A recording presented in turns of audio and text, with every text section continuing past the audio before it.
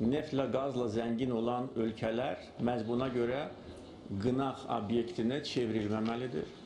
Hmm, Dünyada e, bu məsələ ilə bağlı ayrı seçkilik, diskriminasiya aparılmamalıdır.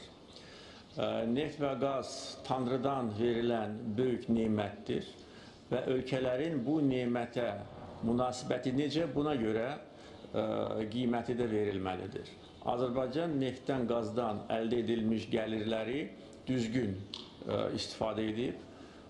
Buna görə son 20 il ərzində Azərbaycanda yaşayanların e, yoxsulluq şəraitində yaşayanların e, faizi 50 faizdən 5 faiza düşmüşdür. Və buna görə Azərbaycan öz iqtisadi potensialını ortaya qoya bilib. Bizim e, birbaşa xarici borcumuz ümumi, ümumi daxili məhsulumuzun cəmi 7.9 faizdir. Və neftdən, qazdan gələn gəlirlər cəmiyyətdə ədalətli bölünür və bu gün ilk növbədə Qarabağın və Şərqi Zəngəzurun ə, bərpasına istiqamətlendirilir. Ə, Ona görə ə, neftlə, qazla zəngin olan ölkələr haqqında hansısa miflər yaradılmamalıdır. Bu ölkələr, o cümlədən bizdən əvvəl kopu keçirmiş Misir və Birləşmiş Ərəb Əmirlikləri iqlim məsələlərinin həlli üçün çox böyük səylər göstərmişdir.